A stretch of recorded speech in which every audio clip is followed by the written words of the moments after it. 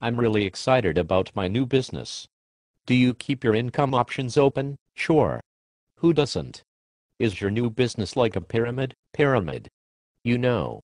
Where the people at the top make all the money. You know, you should not say that out loud. Why? Because it makes you sound really, really stupid. Well, it just sounds like you are working for a pyramid. No. It's nothing like the company you work for. What do you mean by that? You know.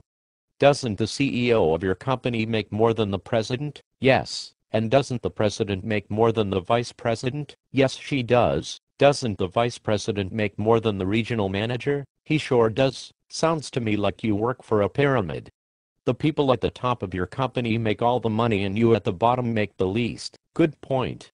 So what do you do? I help people set up six-figure incomes working from home using sweat equity rather than the bank's money. Want to know more? Yes.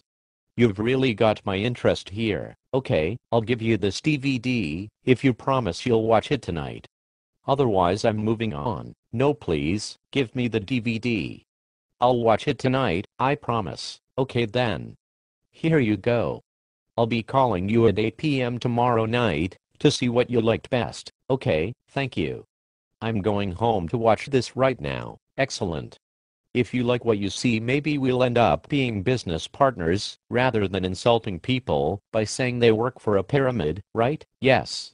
You are pretty funny. Okay, I'll talk to you tomorrow night if not before. Thank you.